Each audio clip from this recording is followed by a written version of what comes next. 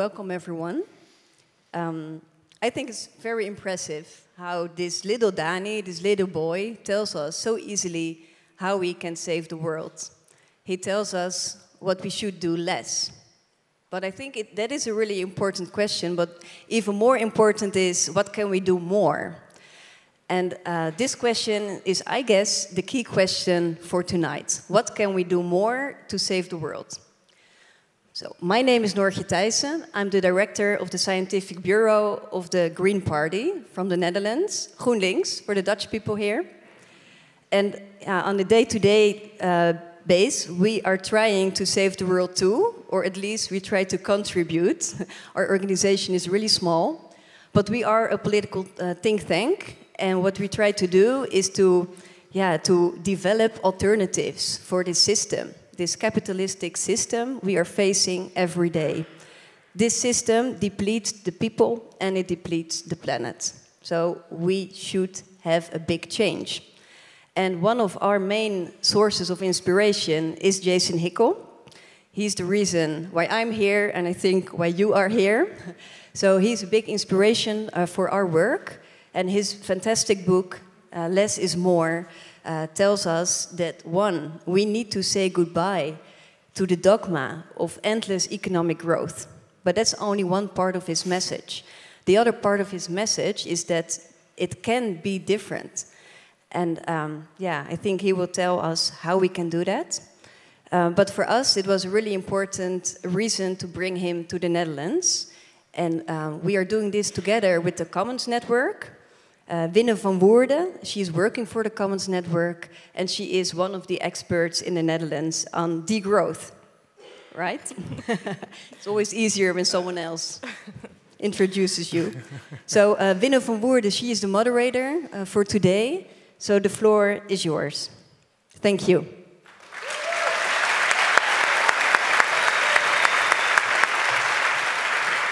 Thank you, Noortje. Is it working? I think so. Um, so yeah, it's great to have you all here. Um, I guess it was sold out in about two weeks, so that shows, I think, something uh, about the the urge, the feeling in society for for for, for an anti-capitalist story. Um, and so I would like to start actually uh, by asking you a question, um, and after that you can listen for the whole evening. Or actually, no, we're gonna have some engagement. But um, could you please stand up if you own a house? oh, wow. Most people. Oh, wow. okay. Um,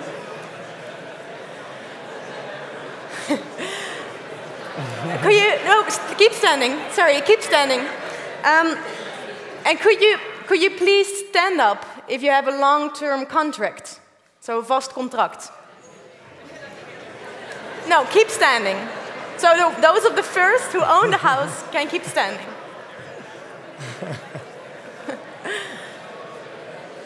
and can you please stand up if you have a student loan?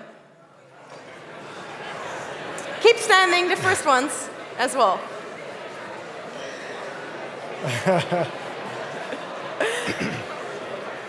Not everybody's standing, right?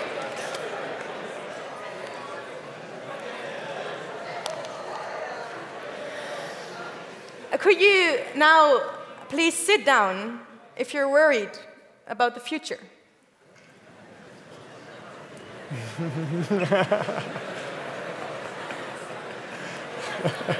okay, those who are still standing up can sit down now as well. um, so yeah, I, um, this was just to give you a feeling of, of, of, of who's here today but also um, of, of, to get your brains kind of turned on uh, about uh, on, on, thinking what the economy is, right, and what our role in the economy is, because we don't really do that on a daily basis, thinking about these huge questions of um, what the future of our economy could be like. Um, so, so today um, we're gonna we're gonna talk about this huge theme, um, post-capitalism, and we're doing that because it's becoming all too clear that something is going wrong, that we're not heading towards the right direction. almost all of you were standing right now, or just a minute ago. So it's becoming all too clear that the foundations on which our society, um, on, on which human civilization as we know it today, are at the verge of collapse. Our planetary home is dying. And world leaders aren't doing nearly enough, doing nearly enough to do, to, uh, to do something about this. So thousands of people are already suffering today, um, already uh, forced to flee their homes due to the climate crisis. It's not something about the future, it's something that's happening today. But tonight, we're not going to talk. Um, we're, gonna not, we're not going to talk about the, the, the, the crisis at hand. We're not going to talk about educating ourselves. Please do so if you haven't done already. Tonight is about what fundamentally changing course could look like. So we'll do this by unraveling a discourse um, that for many of us um, from, from, from the Wetenschappelijk Bureau, but also for us as Commons Network, has been uh, highly inspirational um, to, to kind of grapple with this thought of how a, a radically different future could look like. And I am um, I'm honored to, to do that with, with one of the most influential thinkers in this field, the field of degrowth today, that is with us, all the way from Barcelona. Um, before I'll start introducing uh, him to you, I'll ju just briefly walk you through the evening, because we have two hours, which is quite a long seat. Um, so just to, to, to, tell you a bit about the structure, uh, we're first gonna have gonna, gonna hear from our speaker, um, and then after that there will be um, uh, quite some time for you to ask questions to him. Uh, so that will be about the first hour.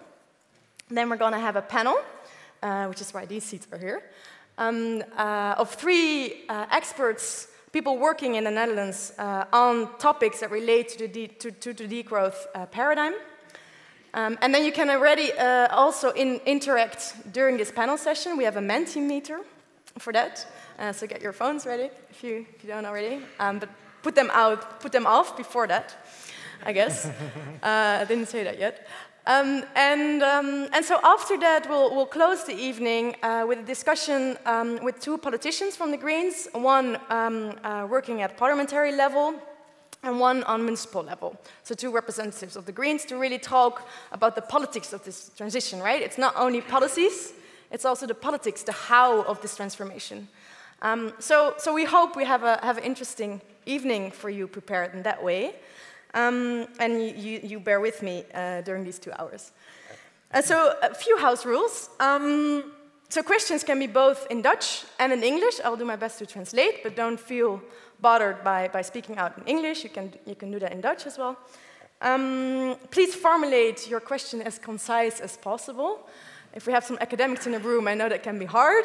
Um, but um, yeah, so we have, we have about 600 people today, and we want to give everybody the floor, um, uh, give everybody um, the opportunity to, to speak up, also when, when people are not, as usual, uh, as, as comfortable um, to do that. Please think ahead of what, what the question you are about to ask might invoke. Try to not be repetitive um, and be respectful towards the people here on stage. Don't be shy, be curious. So now, he has been here in the Netherlands for two and a half days now. We've been exhausting him. Yesterday, he already joined us for a strategy session at Commons Network with social movements, political think tanks, um, people from civil society to also strategize um, for degrowth, for a social ecological transformation.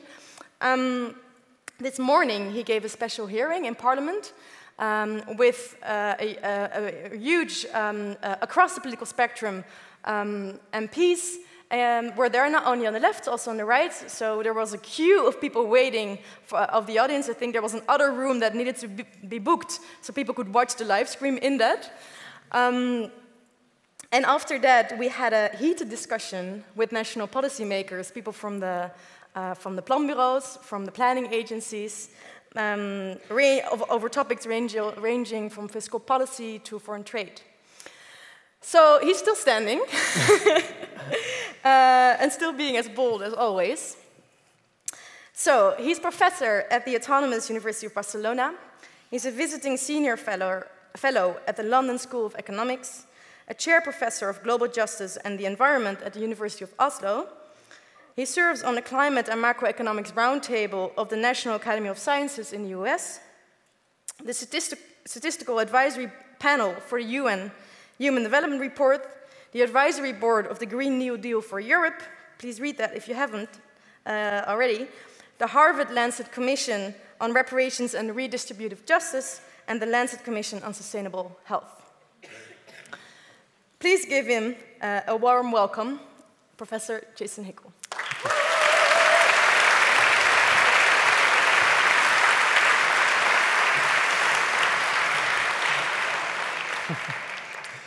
Thank you all so much. It's really a real honor for me to be here, and thank you to my hosts for, for organizing my visits. Uh, I've really enjoyed my time in the Netherlands, and uh, I'm sad it's so short, but hopefully I will be back. Um, so, uh, I didn't quite realize that this was going to be like a hip cultural event. Uh, I thought it was more like academic NGO style, and so so uh, I prepared some sort of introductory remarks to the idea of, uh, of, of, degrowth transition. But um, again, if I'd known uh, it was more kind of this style, I would have gone for some spicier eco-socialist material. Um, but we'll see. We'll see. Ho hopefully, this will be interesting to you. Um, I think I think it can be useful, anyways, to kind of set to, to, uh, kind of set the scene. So, um, right. So. Uh, just to give you a brief overview of what I'm going to do, I'm going to start by grounding us in the reality of the ecological crisis, while specifically trying to highlight the colonial dimensions uh, of this crisis. I'm going to argue that we need to understand it and our failure to address it uh, as an effect of the underlying structure of our economic system, which is capitalism. And then, if we're going to have any chance of stopping ecological breakdown, and moreover, doing so in a way that is socially just, is going to require that we liberate ourselves from the growth imperatives that bind us and ultimately transition to a post capitalist economy. Uh, so, first, to the most prominent dimension of the ecological crisis, which is climate breakdown. We're presently at 1.2 degrees of global warming, and even at this level, the effects are clearly disastrous. Already, 30 million people are being displaced each year by climate breakdown uh, triggering major social and political upheaval. For these people, as Vina men uh, mentions, climate apocalypse is not some abstract future possibility. It's happening right now. Uh, and we know that to stay under 1.5 degrees, as per the Paris agreements, um, global emissions have to be cut in half by 2030, and that's the green line uh, in this graph, declining dramatically from historical trends. But so far, government pledges are nowhere near this target. And most people are not aware of this fact, actually. But even if all countries uphold their existing pledges under the Paris agreements, global emissions will not decline at all over the coming decade. And that reality is represented here by the blue line. Moreover, right now, existing government policies have us on track for 3.2 degrees of heating, uh, which is way over the limit. And this represents, I think we can all agree, a profound failure of our governments, uh, a failure of uh, our international system, and portends a very dangerous future indeed. And crucially, climate is not the only crisis that we face. And this reality tends to fall out of our dominant media discourse, I think, a little bit. Uh, but it's important. The global economy is presently overshooting several other planetary boundaries, including deforestation and habitats destruction, excess fertilizer use from industrial monoculture, water depletion due to industrial extraction, chemical pollution, and then perhaps most concerningly, species extinction, um, which right now is occurring about 1,000 times faster than the background rate, the normal background rate. Uh, and when the latest UN reports on biodiversity was published, the executive secretary summarized it by saying, and I quote, We are currently, in a systematic manner, exterminating all no, uh, non human living beings.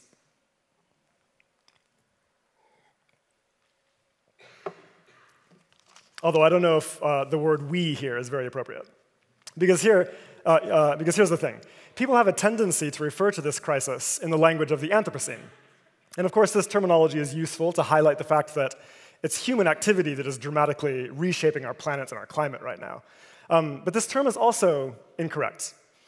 It's not humans as such that are causing this problem. Rather, it's being driven by the particular structure of the global economic system, again, capitalism. And indeed, scholars increasingly refer to the ecological crisis in terms such as the capitalocene. Okay? Now, it's important to be clear uh, what we mean by capitalism here. When people think of capitalism, they often think of things like markets and trade and businesses. Uh, but markets and trade and businesses were around for thousands of years before capitalism and are innocent enough on their own.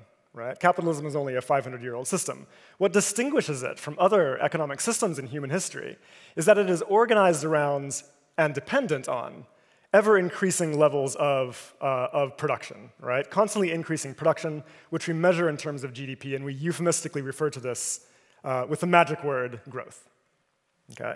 If the system doesn't grow, it literally crashes. It's deeply unstable and causes enormous social harm uh, when this occurs. Now, crucially, under capitalism, the purpose of increasing production is not to meet concrete human needs or to achieve innovation or social progress uh, or specific ecological goals. No. Rather, it is to extract and accumulate an ever increasing quantity of profit. That is the overriding objective of production, right? And this process has no identifiable endpoints. And this is extraordinary. The dominant assumption in economics is that this should carry on indefinitely, that every industry, every sector, every national economy should continue to increase production, regardless of whether or not we actually need it to. Right? Now, this might not be a problem if growth was just plucked out of thin air.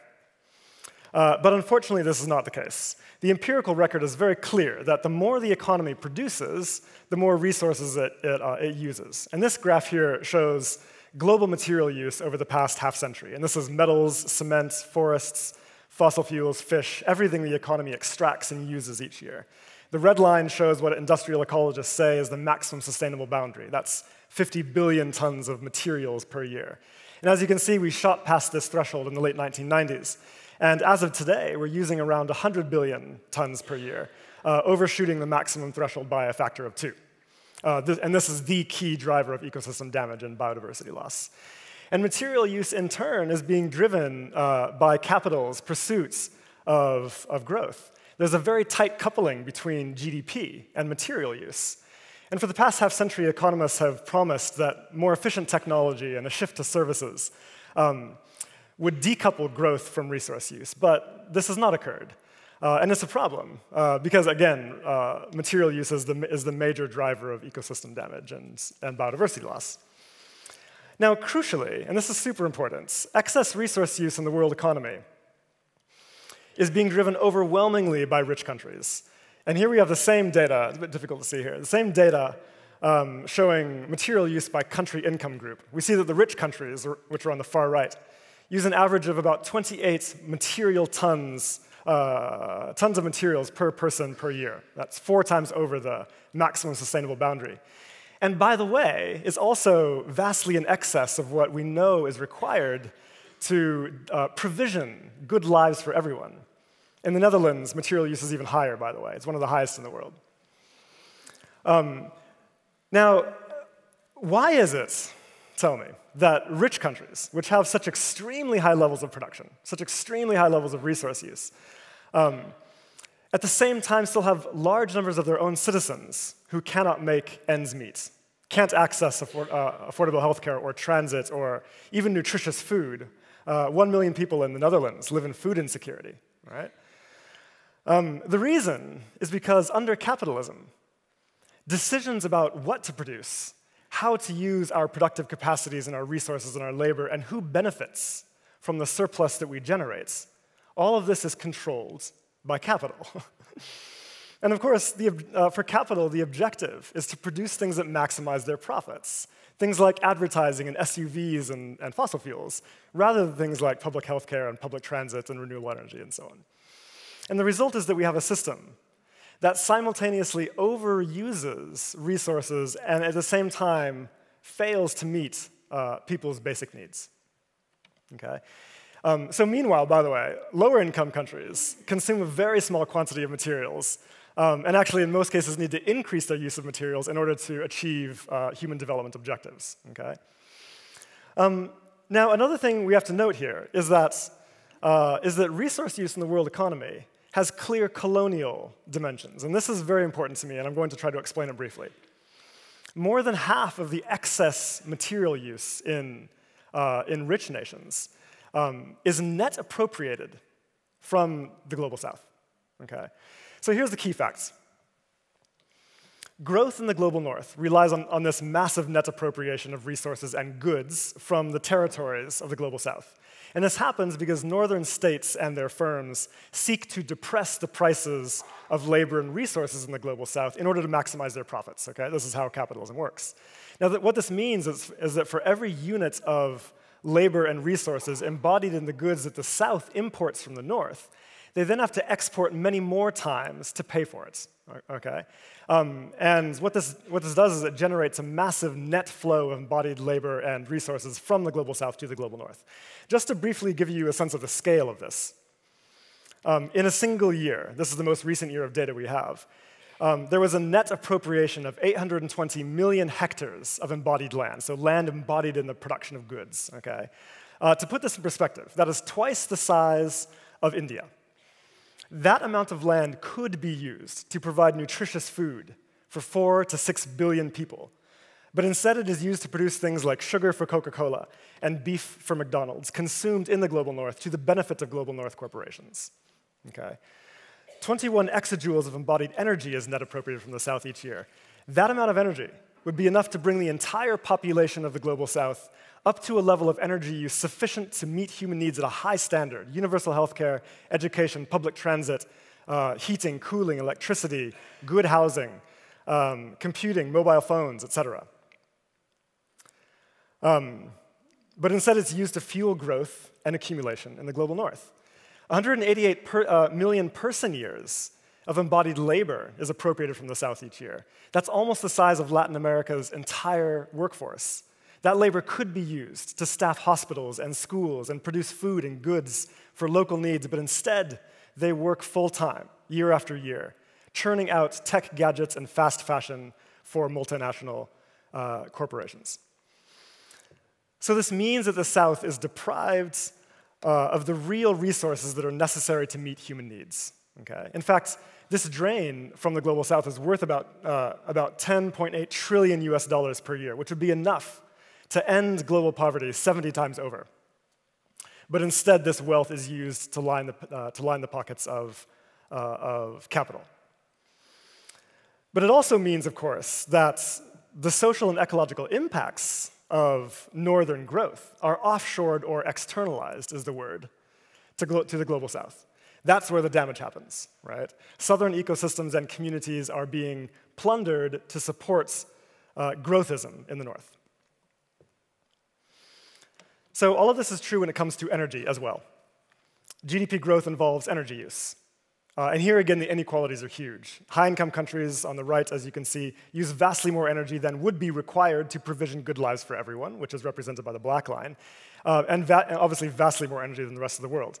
And again, this energy uh, is being used to feed a production system that uh, is controlled by the 1% and geared around maximizing profit and elite accumulation, not around human well being. Okay? And as a result of, of this, high income countries also have very high levels of, uh, of emissions. In fact, we know that they are overwhelmingly responsible uh, for the vast majority of excess emissions that are presently driving climate breakdown. So, in a recent analysis, my colleagues and I found that the USA alone is responsible for 40% of emissions in excess of the safe planetary boundary. So, that's 40% of all of the damages caused by climate breakdown all around the world. The global north as a group, which includes the USA, but also Canada, uh, Europe, Australia, New Zealand, and Japan, is responsible for 92%. And that's the area represented here by the, by the dark green. Okay.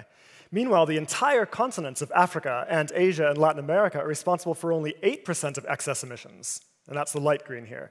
Um, and most of the countries in the global south, uh, including countries like India and Indonesia, are still within their fair share of, uh, of uh, the safe planetary boundary. Okay? So we need to understand this reality as a process of atmospheric colonization. The atmosphere is a shared commons on which all of us depend for our existence. And the global north countries, and the rich in particular, have appropriated it for their own enrichments with devastating consequences for all of us uh, and for all of life on Earth.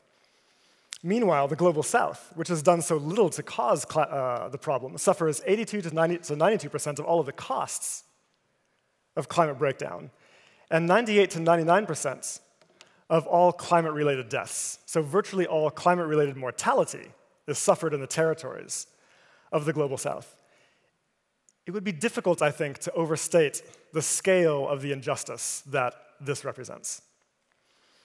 Okay, so what needs to happen?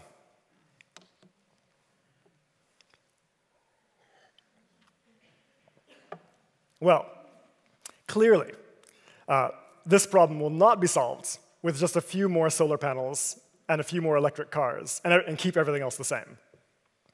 This is a systemic crisis, and it requires systemic solutions. So let me try to explore this a little bit. First, we know that rich countries need to scale down their use of our planet's material resources by, by more than 50% from existing levels. Okay? Now, the existing discourse out there claims that this can be accomplished through green growth. And the idea here is uh, efficiency improvements will allow us to achieve an absolute decoupling of GDP um, so that GDP keeps rising indefinitely into the bright future, uh, while material use uh, declines to sustainable levels. It sounds wonderful, but the problem is that scientists uh, question the empirical validity of this narrative. Uh, and I think this is not seeped enough into, uh, into our public discourse. Yes, efficiency improvements are vitally important. But in a growth oriented economy, the gains from efficiency improvements are reinvested to expand the process of production, right? And so it makes it very difficult to achieve absolute reductions in material use. So, for example, if you are Coca Cola and you find a way to produce aluminum cans with 10% less metal, no? This is an efficiency improvement. What do you do with the savings? Is you invest in an advertising campaign or expanding production into other, uh, into other regions and, uh, and into schools or whatever it might be. And so you're increasing production uh, in total, and that makes uh, most of the gains get wiped out. So the problem here is not our technology. Our technology is good. We should be proud of it. the problem is growth. Um, and what this means is that if, if high income nations are to achieve sufficient reductions in material use, then we need to abandon growth as an imperative. Um, in a post growth scenario, efficiency improvements would in fact work as we expect them to and deliver reductions in, in material use. Okay? Okay, so what about climate? Let's talk about this. Now remember, to stay under 1.5 degrees, we need to cut emissions to zero by 2050. We all agree. And high income nations, uh, given their disproportionate share of historical responsibility, have an obligation under the Paris Agreement to decarbonize faster. And this is uh, the equity principle. Okay? Now, emissions are different from materials. We know it is possible to absolutely decouple GDP from emissions um, by transitioning simply to lower carbon energy sources. And indeed, more than a dozen high income nations have already been on this path, uh, right? Uh, even when we measure emissions in consumption-based terms. Now, this fact has, widely, has been used widely, this, this got a bit messed up, sorry, has been used widely to argue that not only is green growth possible, but it's already here. And this is an article from the Financial Times a few, a few weeks ago. Okay? Uh, so you can see Denmark, Sweden, the UK. Oh, by the way, the Netherlands is also one of these decouplers, rising GDP with declining emissions at 1.4% de uh, decline per year. Okay? Now, what this discourse obscures is that none of these nations, including the Netherlands, um, are, are reducing emissions in line with the Paris Agreement. Okay? Not even uh, the highest performing countries like Denmark and the UK, et cetera. Right? Uh, they're, they're, way off. Uh, in the Netherlands, existing emissions reductions uh, on, on our existing trend, it will take 200 years to reach net zero. And we'll blow through our fair share. I'm saying our like I'm from the Netherlands. This is cool. We'll blow through our fair, our fair share of the, of the carbon budget seven times over, right? There's nothing green about this. These are all inadequate. So the question becomes is it possible to achieve sufficiently rapid decarbonization? Right? Or do we just uh, become doomers and, and, give up? No, it is possible. Um, but not if high income nations continue to pursue growthism at the same time. And the reason is, again, because more growth requires more energy use than would otherwise be the case. And this makes rapid decarbonization more difficult to achieve. Okay? So uh, it makes our jobs harder, and why would we do that to ourselves? Um, proponents of green growth, by the way, just briefly, they understand this problem. Uh, and the way they tend to solve it is by, uh, is by gambling on the possibility of speculative negative emissions technologies. The idea is that in the future, the younger generation will devise ways to pull carbon back out of the atmosphere. And so we don't have to worry about stopping emissions now. We'll just we'll emit over our temperature thresholds and then put it on the youth to sort of solve this problem in the future, right? Um, this, this has all sorts of problems that, scientists reject quite uh, vehemently. Um, the main thing is uh, that if this strategy was to fail for any social or political or technological reason, uh, which is highly likely to do, then we will be locked into a hothouse trajectory from which it will be impossible for us to escape, right? So it's a massive gamble with the future of human civilization and all of life on Earth, all to defend continued economic growth in the global north, which is not even necessary. And I think we need to reckon with that. So, in its latest report, the IPCC points out that scholarship on degrowth offers, uh, offers an alternative path. Now, degrowth research embraces efficiency improvements and embraces technological innovation, okay? But it recognizes that this alone will not be enough, and therefore calls on rich nations to also abandon GDP growth as an objective in and of itself and scale down less necessary forms of production, okay? So, what does this look like in practice? It's quite simple. uh, instead of assuming that every sector of the economy must grow all the time, uh, regardless of whether or not we actually need it to, we should decide democratically what sectors we actually need to increase, things like renewable energy and public transit and access to affordable housing, right? And what sectors are clearly destructive and should be scaled down. Things like SUV production, private jets, uh, air travel, fast fashion, industrial beef, cruises, advertising, the widespread practice of planned obsolescence, the military industrial complex, right, and so on. There are clearly huge chunks of the economy that are organized uh, mostly around corporate profits and power and elite consumption, and we don't need them. Now, this approach is powerful in terms of climate mitigation because it would significantly reduce energy use and therefore uh, enable us to have a much faster transition to renewables, okay? Fast enough to stay under 1.5 degrees. Now, most people would regard this as, uh, as sensible, right? Except for one obvious sticking point. what about jobs? What about livelihoods? As we scale down less necessary forms of economic activity, then won't that lead to unemployment? And if so, clearly this is politically untenable. Uh, and nobody would agree to such a future, and nobody should. Okay? Fortunately, ecological economists propose a simple solution. If the economy requires less labor to produce the things that we do need, then we can shorten the working week and share necessary labor more evenly right? Thus preventing any un unemployment and taking any benefits in terms of increased leisure time, uh, which has strong positive benefits for, uh, for society. We can also roll out a climate job guarantee. This is an important one. A program like this would ensure that anyone who wants to can train to participate in the most important collective projects of our generation, right?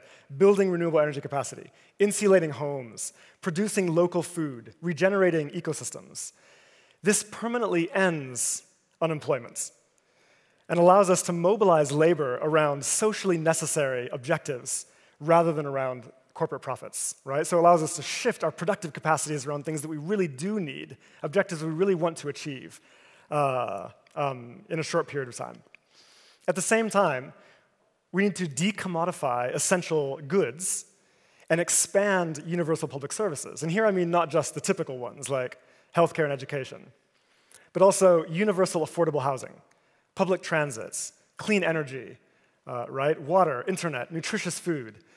Um, taking this approach ensures that essential goods are always going to be produced and everyone will have access to them, regardless of, uh, of whether there are fluctuations in aggregate output. Right? And right now, again, if you have a, a recession in the economy, people lose their access to these things because their access is mediated entirely by wages. And so decommodification becomes critically important here. On top of this, we need to dramatically reduce inequality and distribute income more fairly. And, and this is really key. Uh, um, people often ask me this interesting question. They say, Will there be enough income in a degrowth scenario um, to meet human needs? And the answer to this is interesting. The answer is yes, but not just yes, by definition, yes. Okay? Um, because national income is simply by definition equal to the total prices of all of the stuff that is produced in the economy. Okay? Um, it's an accounting identity. There's always exactly enough income to buy everything the economy produces. So, therefore, as long as we are producing what people need, there's always, by definition, enough income to buy those things, so long as the income is distributed fairly. Distribution is everything here, uh, right? So, so, taking this approach, establishing a firm social guarantee and sharing resources more fairly would allow us to ensure decent livelihoods for all, delinking human well being from economic growth. This ends the growth imperative. It breaks the political logjam around climate action. Right now, we cannot pursue radical climate action because it might have harmful effects on employment and livelihoods. But by taking the question of employment and livelihoods off the table, by permanently solving that question, right, we can pursue radical climate action without anyone getting hurt. This is the bread and butter of a just transition. We need to have policies like this. Um, now, I briefly also uh, want to emphasize that the demand for degrowth is not just about ecology, it's also an anti colonial demand. Degrowth scholarship calls for an end to the colonial patterns of appropriation that underpin northern capital accumulation, to release the global south from the grip of extractivism and from a future of catastrophic climate breakdown. Southern countries should be free to organize their resources and their labor around meeting human needs rather than around servicing northern growthism. Degrowth, in other words, is an anti colonial demand, a demand for decolonization. And this thinking is actually ref is reflected clearly today in the People's Agreements of Cochabamba, which was signed in 2010 by thousands of social movements from across the global south. And I urge you to read it if you have, if you have not done so yet. So we know empirically that with measures like these, we can achieve a rapid reduction in emissions, consistent with staying under 1.5 degrees, while at the same time reversing other forms of ecological breakdown. Global warming would stop. The land would regenerate. Biodiversity would bounce back. Our planet would heal. And best of all, we do this while improving social outcomes, right? Organizing our productive capacities around human needs and well being and ecology rather than around capital accumulation. This is incredibly hopeful news. It's a powerful antidote, I think, to the depression and anxiety and doomerism that has seeped into our culture. But we have to be clear this will not happen by itself. Okay? It requires a significant shift in mentality. Uh, for decades, we've been told that if we care about the environments, we have to focus on individual behavior change. But this is clearly not adequate. We need to transition out of capitalism to a post capitalist, post growth economy, one that is capable of ensuring good lives for all within planetary boundaries. And to get there, we need to build a political movement that is powerful enough to unseat existing incumbents or otherwise force them to change course. The environmentalist movements cannot do this on its own. To be effective, it must create alliances with unions and working class political formations, which have much more political leverage, including the power of the strike. And for this, it is vital that we foreground the demands for social justice that, I have, that I've highlighted here.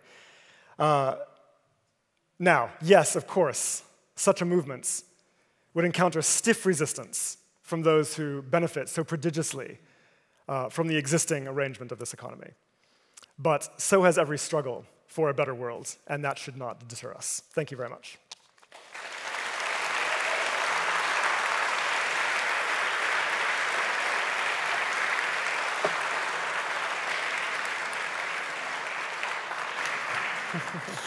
Thank you, Jason.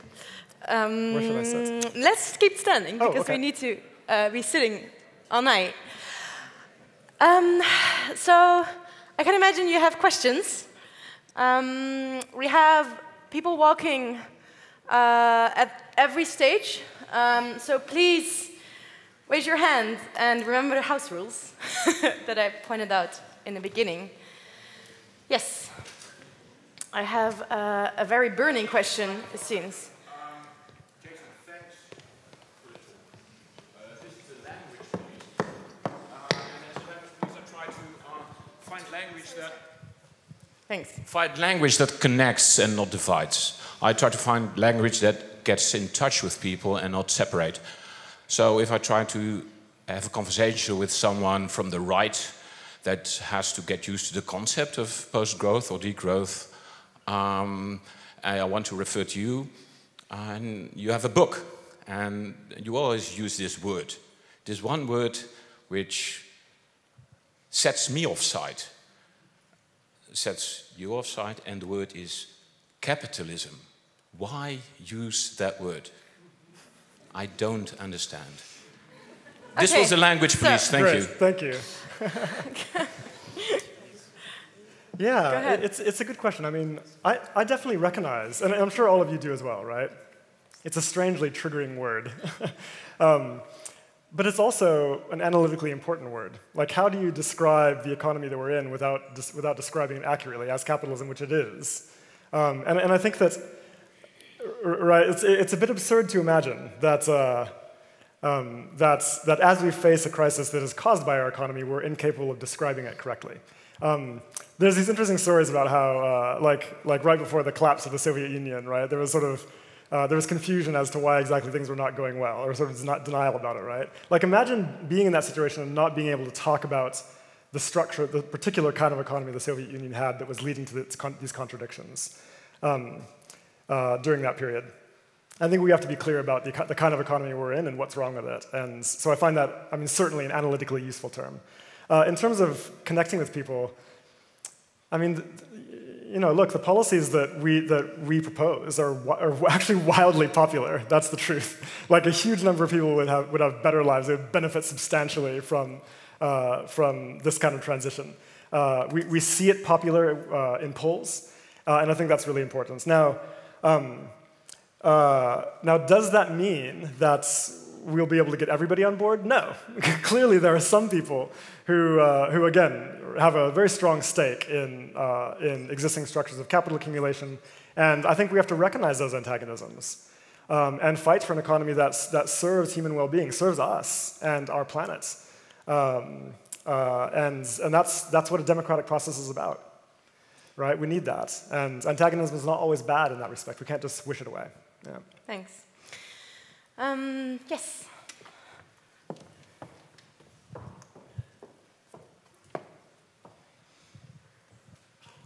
Perhaps say your name before. Uh, Eva de Bruin. Um, I really like the broad vision, and I'm uh, wondering what would you recommend to local politicians to do on local level to work towards this uh, vision? Important question.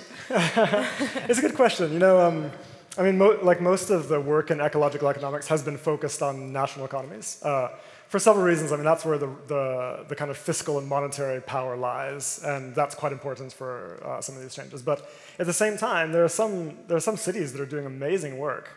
Uh, like, like Zagreb is one, and Barcelona is, is another, where they're actively experimenting with, with some of these ideas. Um, and, and have become quite popular in the process, right? Uh, if, you, if you get a chance to visit Barcelona, you'll see what they've been doing with their public transit system and their public bike system. Although I mean, you can't compare with uh, what you all have here, I suppose. so maybe that's a bad example, but um, yeah, no, there's lots of initiatives ha uh, happening at the city level, uh, and so I would encourage people to uh, to explore um, yeah what's been going on in cities like Barcelona. Right. So yeah, the cooperative movement in Barcelona is definitely. Yes, that's right. Yeah. Um, yes, go ahead.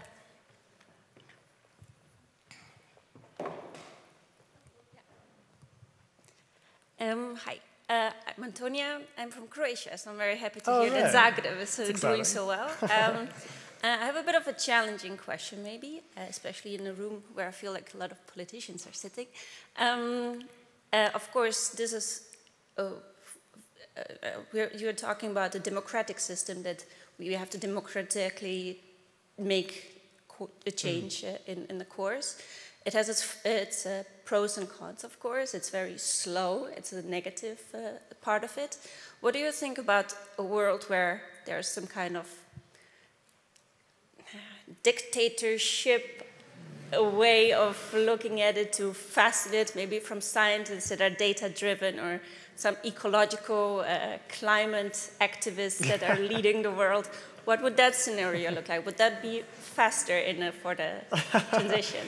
it's so it's so interesting you asked that. Um, yeah, this is this is the sort of thing that jumps to everyone's mind immediately, right? So, some kind of like uh, uh, yeah, interesting fantasy. Um, look, I think uh, I think democracy is really important here, but let me describe what I mean. Uh, so, so first of all, we know something quite interesting. Uh, when people have democratic control over production, over resource use and production, then we know empirically that they tend to, to focus on uh, supporting and improving human well being. They focus production on that objective and also sustain ecology and ecosystems. Uh, and, this, and this is, this is a, re, a resilient finding, right? When people get together democratically to deliberate about production, that is what they do. So the question is why does our economy not look like that? And the reason is because our economy is not democratic, right? And this is interesting. Capitalism is a fundamentally undemocratic economy.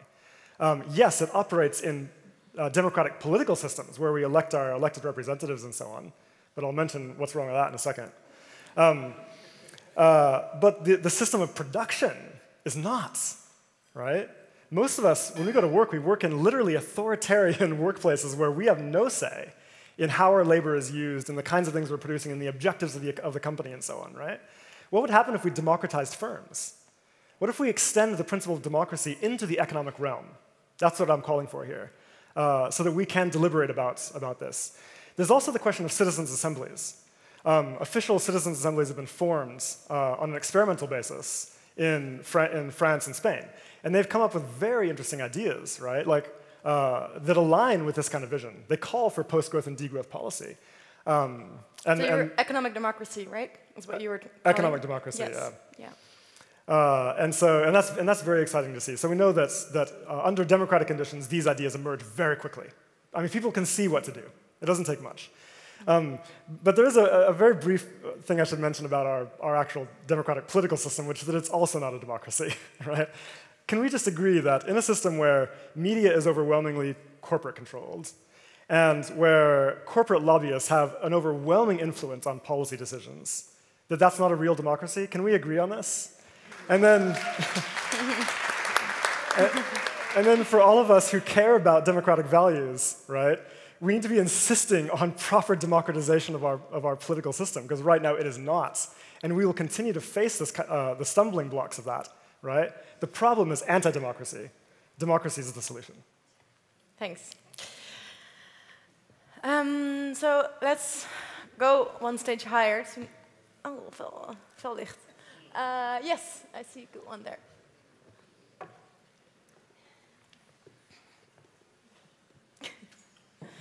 Thank you. Um, Please say your name. Uh, Joep Eikenoon, thank you for your talk. It was amazing. Um, I had a question. In your, one of your previous slides, you uh, called for the extension of public goods and public services like mm. affordable housing. That gave me the thought, well, affordable housing, um, should we even own a house in the system you're proposing? Like, is it even ethical to own capital at itself? Good question. so, so yeah, so I think that um, so so we have to distinguish between private property and personal property, right? So. Uh, so personal property would be like the things that we use in everyday life that all of us have. L literally, all of us have personal property, right? Private property is something quite different, and that's uh, that's ownership of the means of production. So uh, you know, large tracts of land, subsurface minerals, um, you know, factories and, and industrial fishing fleets. That's uh, that's private property. Um, so I think that's an important distinction. In terms of the question of, of housing, uh, yeah, I, I, I, don't. I mean, I saw lots of homeowners, by the way, who stood up. So it's not like I'm going to be no. Um, no, I actually think that that uh, that improving access to homeownership is good. The problem is when you own multiple homes and then become a landlord. That is right. This is a problem. this is when you've you've uh, you've uh, produced an artificial scarcity of access to a, to an important good, and that's and that's a, and that's something we have to change, right? So. Um, so, uh, so yeah, so I think that, that universal access to affordable housing has to be a core value.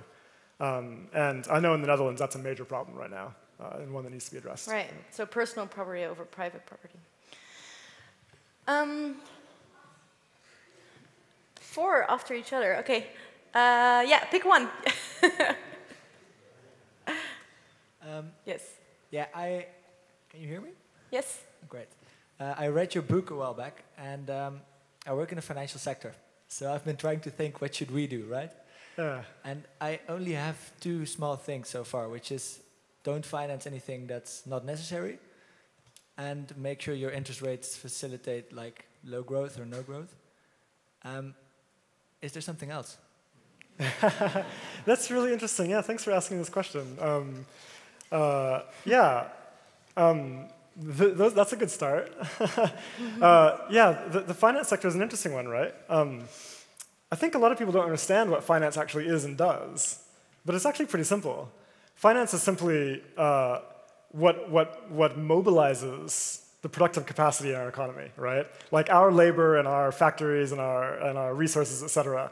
Um, th these get mobilized by finance, and whoever controls finance, right, the big, the big firms that direct finance, they literally get to decide what gets produced. um, and that's, and that's, uh, that's huge power. um, and I think that what we need to do ultimately, uh, uh, in addition to the, this important start, is that we need, to, we need to democratize finance. In the sense of, we need to have more democratic say over how, uh, how uh, our, our collective capacities are mobilized towards what ends, what we're going to produce, uh, and for what purposes, right? Now, what that looks like, I think, is is an interesting question. And, and, there are PhD students who want to study this right now. And I'm sure you have maybe some insights as well. But, um, but certainly having a, a, greater role for public finance, I think, is quite important, um, which is more accountable to, democratic, to democratically ratified social objectives. Uh, and so that would be one important first step, I think. Yeah. So it relates to the top of top topic of economic democracy again. That's right. right. Yeah. Yes. Yeah. yeah. Um, so perhaps on the third floor, I think there are some people there as well. Um, okay, so we have one standing here, almost, with the question. Let's go over here. Yeah, I think it's quite... We need some collective collectivity here to get, to get, to get the mic in the middle.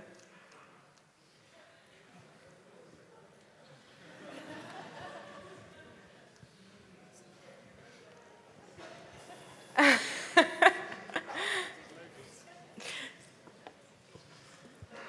you. This is called collaboration, right? Collaboration. Yeah. Thanks, uh, thanks, Jason, for your talk. Read your books, also The Divide. Uh, we're clearly in a climate emergency. What you're proposing is systemic change. Uh, I sympathize with that, but it will take a long, long time. And I'm not sure it is in line with an emergency. So you can do two things. You can either say, let's change the whole system, and it might work a little bit, but not enough. Or you can say, well, let's work from within the system and try to get the prices right. And I haven't heard you say anything about that because suppose that you get the prices right and you get, say, proper charges for CO2 of really not 100 euro per ton, but 1000 euro per ton. You get proper charges for material. What would the picture look like? Because at the end, of the day, the, the, the, system produces what the people want. It's, it's demand that drives consumption, that drives production. So if the prices are right, is, what would all these charts look like? So is it not a fact that we have this huge market failure, which Pigou talked about, um, which we are basically impossible to um, attack? Good question, yeah. Um, yeah, prices. This is, uh, this is a big one in climate economics, for example. And th there's pretty much unanimous agreements that you would need uh, pretty, very high carbon pricing and uh, you know, higher prices on resource extraction, et cetera, et cetera. Um, obviously, that would make a big difference. The question then becomes, why is this not occurring? Right? And the answer is this, because again, it has to do with structural features of our economic system that preclude this from occurring. And that is that uh, the objective of capital in maximizing accumulation is to depress the prices of inputs as much as possible, and to depress the prices of waste as much as possible, right? Um, and that includes, yeah, wages as well as nature and, uh, and emissions. And so there, there's heavy sort of structural pressure to do that. Um, I mean, the reason we don't have high carbon prices is for the same reason that, that we don't have decent wages, right? Because it's, it's incompatible with capital accumulation. So I think that this actually brings us back to the question again, which is that, like, what are the structural features of our economy that preclude this kind of action? Um, and how can we overcome them? Hmm. Uh, and, um, but there's another, another important issue here uh, to do with pricing, which is that which is that pricing can often be regressive uh, if it's not managed very carefully. Uh, and we saw this occur in France, no, with, uh, um, with Macron's policy, which backfired miserably uh, with strong working class resistance. And he deserved it, right? Uh, I mean, you can't balance climate policy on the backs of, of poor and working class communities. This is not acceptable.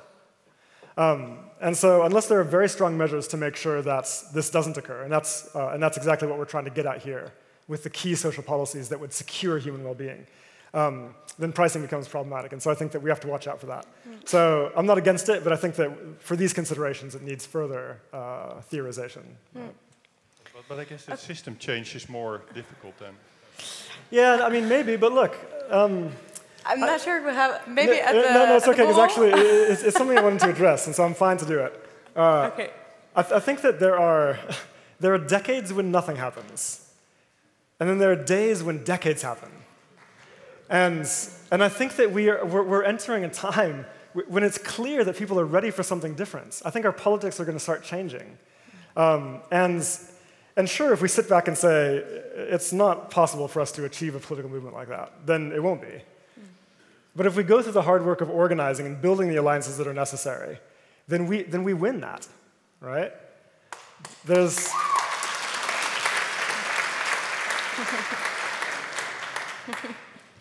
Thanks.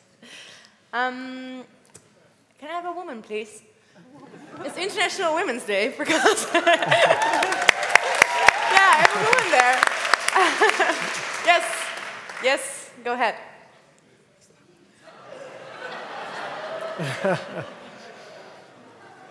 Does it? That, that's no, it's not what I meant. okay. Okay. Uh, um, I got past the mic. I'm so sorry. Chow is okay. Okay, she's okay with it. All right. Yes. so, um, my question relates to something that I think is important, which I've found missing in this story, because it is a lot about um, transitioning to a new system. But when we truly understand the conclusion that you clearly gave, that this climate crisis is a colonial crisis, then there comes a moral obligation with it, an ethical obligation with it of repair. Because these 90% of people that you, for instance, described uh, die in the global south for the hoarding of our stuff, these are just not global deaths, it's murder. Understand? If we pollute a river that we know people need to drink from, then that is murder. So, what then? After 500 years of systemic, institutionalized genocide and ecocide, what do we do to repair that damage and regain our place on the earth as civilized humans? That's it, that's my question. Thank you. I thank you very much for this. And I want to pass the mic for International Women's Day colleague. to Chow. Go ahead, Chow.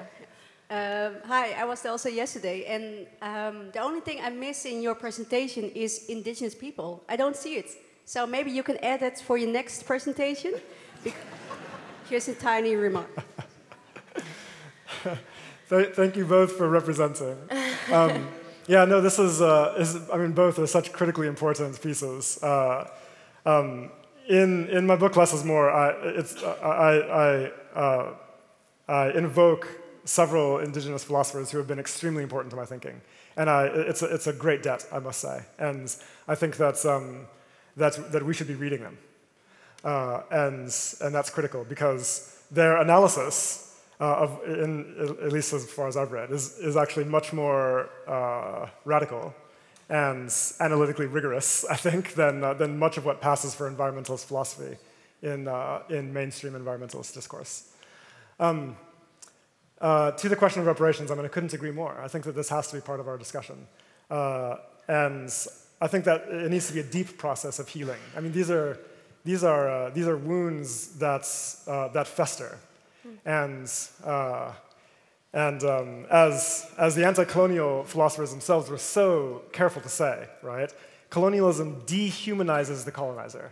And I, and I feel that that's important, right? It dehumanizes the colonized, but it also, in the process, dehumanizes the colonizer. And, uh, and, and we need a process of rehumanization, and it has to come with acknowledgments of the violence that continues to be perpetrated. Um, and, uh, and, and financial reparations should be on the table as well. And this may, this may sound uh, like an additional hurdle for people, right? But look, a, tra a, a, transfer of reparations is very straightforward. It is simply a transfer of purchasing power over the global products, right? From, from one region to the next. Now, the majority of production in our world economy occurs in the global south, from the lands and the peoples and the resources of the global south, even though the majority of the benefits are captured in the rich economies of the global north. And so a, a process of reparations is simply shifting purchasing power um, to the communities of the global south who are producing the goods in the first place. And I think that is like, all of us would agree is fair. Mm. Um, and so, and, and so I, I, think this should be part of our discussion, especially because we, this is a process of international negotiation. Mm. And, uh, and, uh, and so recognizing these justice dimensions is critically important, I think. Thanks. I think we have time for one more question. Um, so let's see. Next, we have one more woman. Yes. Yes, yes. it's okay.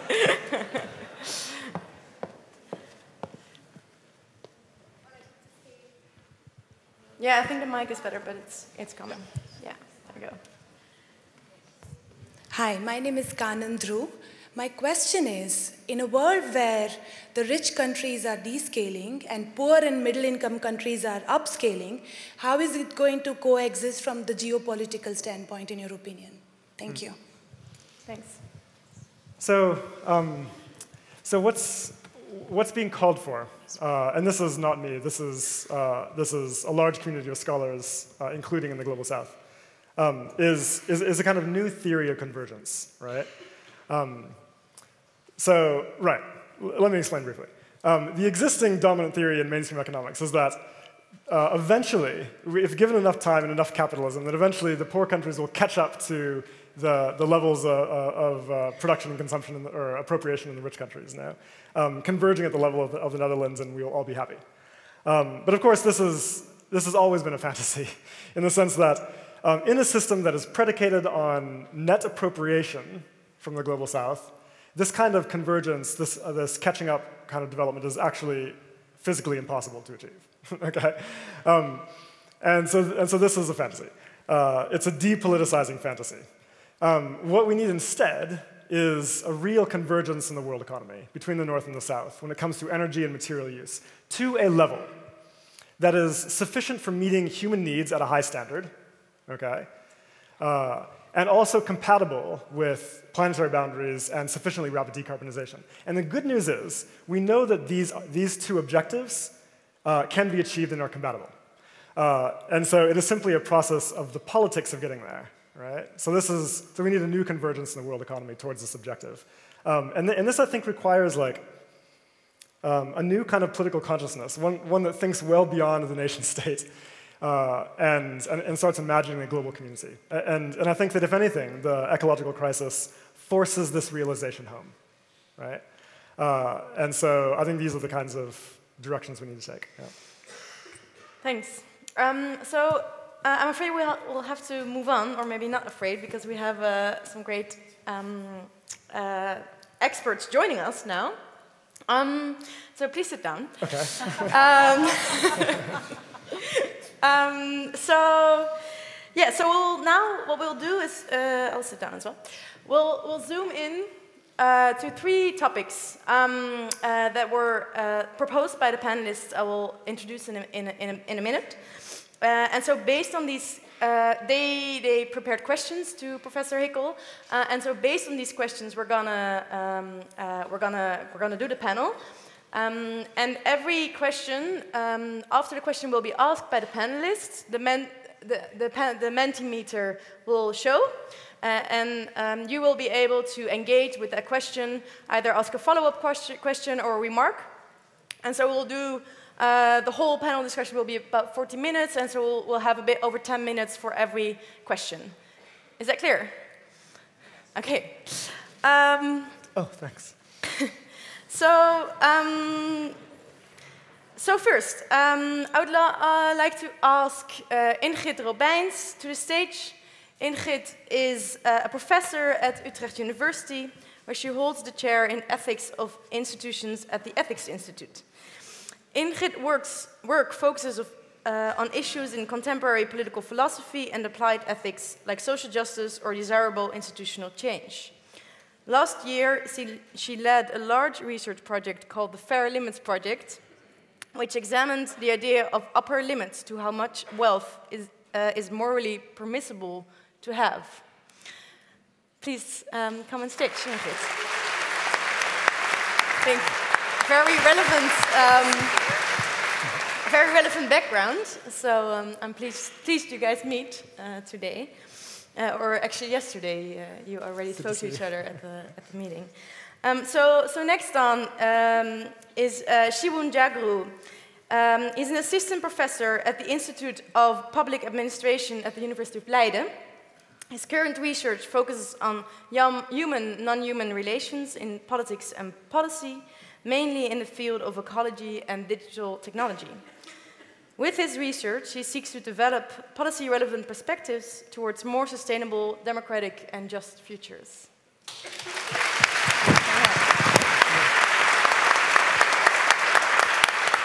Good to have you here. Um, and finally, we have Hans. He's already on stage. Hans Rodenburg. He's project leader at the Wetenschappelijk Bureau GroenLinks, co-organizer of this evening as well. Uh, so again, uh, Wetenschappelijk Bureau GroenLinks is the think tank of the Dutch Green Party, or GroenLinks. He currently leads a project exploring possible, possible post-capitalist futures. This will result in a book that is to be published in September called Er is wel een alternatief, routes naar een post-kapitalistische samenleving. Very relevant uh, in which a collective of thinkers and activists uh, depict a post-capitalist society, including my colleagues from Commons Network. Um, so, applaud for Hans.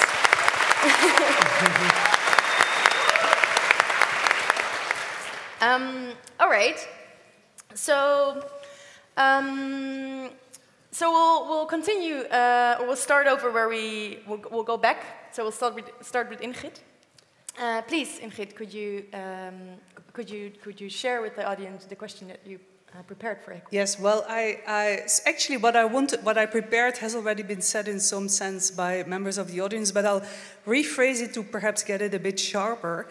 But I first want to say that uh, Jason Hickel has done really extremely important work to debunk the narrative that capitalism is a win-win for all, and that narrative is still uh, prevalent. His work shows that we are giving people in the global south breadcrumbs from global trade, and that people in the global north are taking the lion's share of uh, the welfare that is generated by globalization. In addition, we are also massively overusing our fair share of greenhouse gas emissions and other material resources.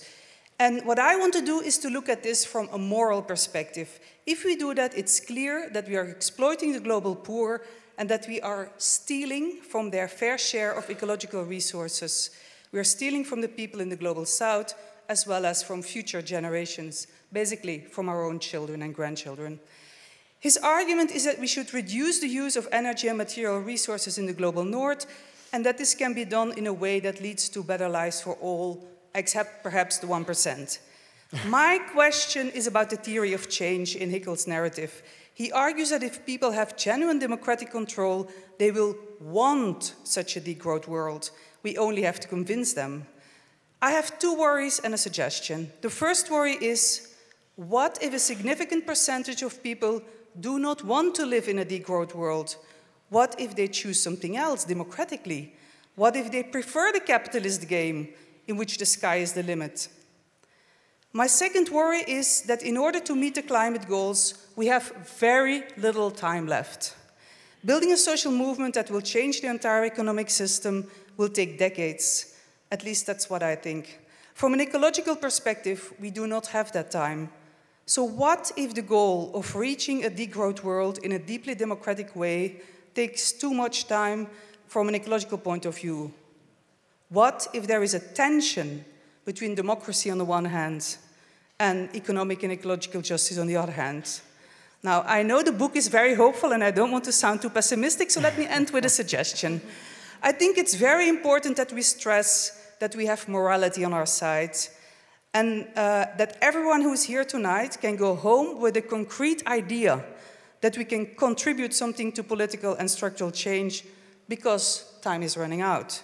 We should have a theory of change in which different groups of people pursue different strategies simultaneously. So, yes, there should be a social movement, and people with power or prestige have special duties to step up their game. We should be much more aggressively naming and shaming the capitalists who have brought us into this morally unacceptable position. We should also, for example, join shareholder activists. We should use legal instruments. We should also uh, challenge the dominant ideology. And we should use, as far as I'm concerned, any morally acceptable method that helps us to reach ecological justice within the short time frame. And I think, and this is important, we should not do these things because it gives us better lives, but because it is what morality demands. Thank you.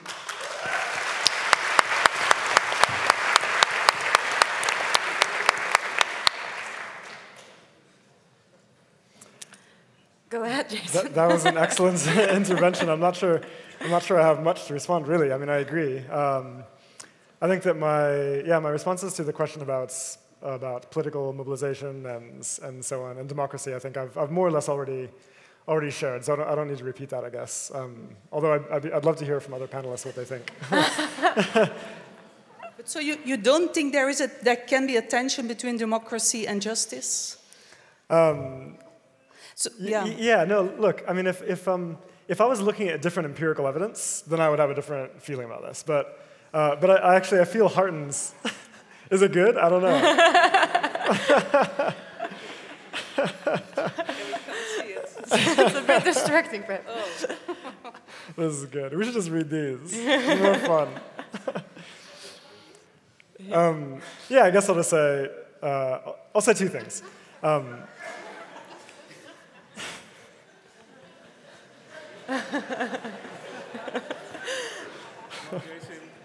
I think I think perhaps we should we should have we thought it would be like distracting for the audience, but we th didn't think it could be distracting for the panelists as well. I mean, if they're all laughing, I want to know what they're laughing about. You know? yeah, thanks. okay. So, so I guess I would say two things. First, uh, I'm heartened by the, the, the, empirical evidence that we have um, on, on how people do choose to behave under democratic conditions uh, when it comes to decisions about production and in terms of the polling data that I see. Like large majorities want to shift to an economy that is focused on well-being and ecology rather than capital accumulation or growth. Um, and that's pretty clear. And so I think that there's good reason to be hopeful there. When it comes to political movements, I mean, look, I'll say, I'll, I'll, I'll say this. Um, I think that we have difficulty in, our, in these countries, our countries, in the, in the global north, um, imagining this. Uh, right? Because it's been so long since we have undertaken these struggles.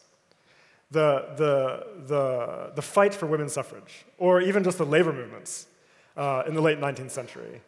Um, these movements changed our countries, right? And that took serious mobilization, and the change was big. Um, and that's the kind of scale that we're thinking about now. But even better yet, think about more recent movements, not here, but elsewhere. Think about the anti colonial struggle, right? Where uh, the poorest, most oppressed people on the planet successfully mobilized to overthrow some of the most violent imperial forces that we've ever known. Right? Uh, and never once did they wonder, like, can we do it in time? Uh, do we have the political mobilization to be able to pull this off, right? You just do it. You have to just do it. Now, does that mean we can definitely finish it in 10 years? Maybe not, but that doesn't mean you stop struggling. Uh, I mean, if we hit 1.5 degrees, do we give up? No, we double down. And, uh, and, so, and so there's the anti-colonial struggle, there's the civil rights movement as well.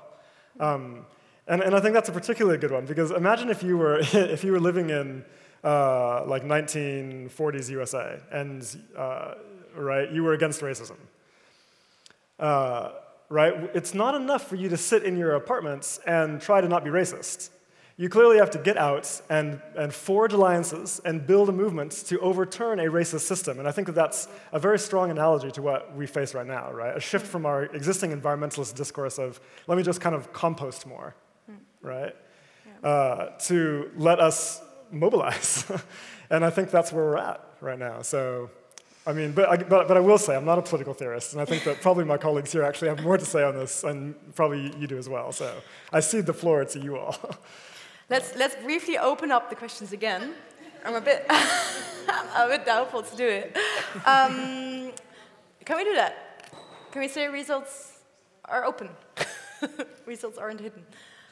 Or is it like there's no way going back now? I think there's no way going back. Okay. Um, that's, that's a pity. okay, let's continue. Um, so, um, yeah, so Shiwon, um, could you please, um, please share, share your comments and questions? Yeah, thanks. Mic check. Mic check. Oh, yeah, yeah that works. Yes, here we go. Perfect. Thank you. Um, so thanks so much, Jason, for your, for your very uh, important and inspiring talk. Um, so just uh, my, my question is much shorter, so maybe I have more time to, hmm. to go to the questions and, and to, to deliberate. Um, so we are not equally responsible, we're not all equally responsible for the climate breakdown. You mentioned this also when kind of unpacking the Anthropocene concept. Uh, systems of racial capitalism and systems of nature and labor extractivism, those systems are responsible, right? Um, or to put it differently, not all countries and all human beings have caused the climate crisis. But if we take seriously that colonial legacies and class inequalities, um, uh, uh, if we take those seriously within a degrowth paradigm, or I would phrase it as a, in terms of a decolonial paradigm, um, should energy consumption be regulated differently depending on your class position and depending on your global north or south position, also people uh, with a post-colonial background in the global north? So to put it differently, should, should just the richest people become vegan and only travel by train? And poor households be exempted from this regulation? And if so, what does that mean for the idea of a liberal state or a state that's, uh, that is guided by a rule of law?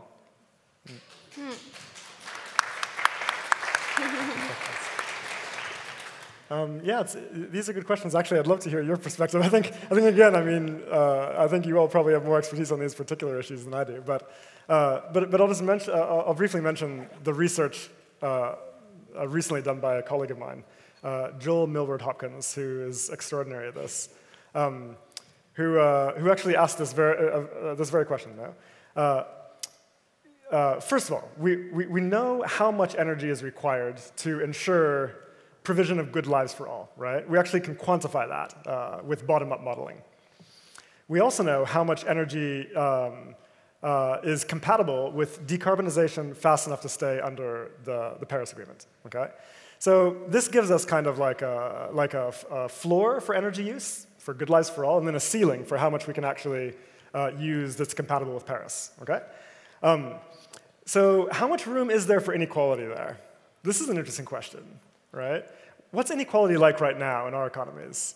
Uh, it's extreme, right? Like uh, the richest will, will have uh, hundreds, in some cases in the USA, for example, thousands uh, times more in terms of income than, uh, than, than ordinary working class people. Um, how much room is there for inequality in this kind of uh, climate safe world that I'm discussing? Well, according to Millward Hopkins research, um, a ratio of about one to six.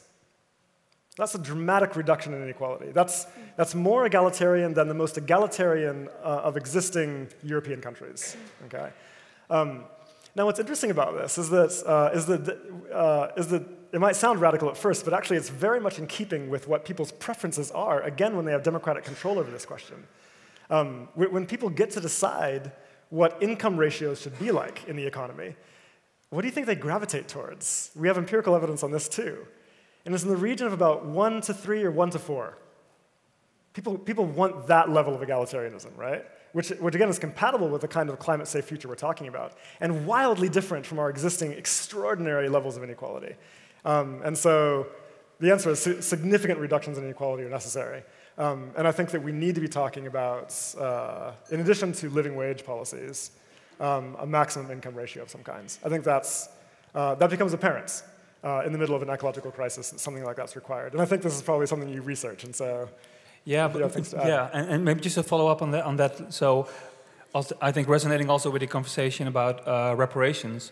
Would it would it mean that let's say the Dutch government uh, translates the idea of reparations in terms of a differentiated taxation system or a differentiated approach by regulating different income groups in slightly different ways depending on their carbon footprint or the amount of uh, um, um you know, international travel they, they can, can or cannot go? How would your, I, let's say, degrowth state, how would they, that act uh, and enforce its, its, yeah. its visions? Okay, yeah, I mean, it, it's, it's interesting. I think that this is the sort of question that is, is actually um, pretty well answered when it comes to uh, citizens' assemblies and so on, which can mm -hmm. sort of democratically decide how, how certain sectors should be, should be treated.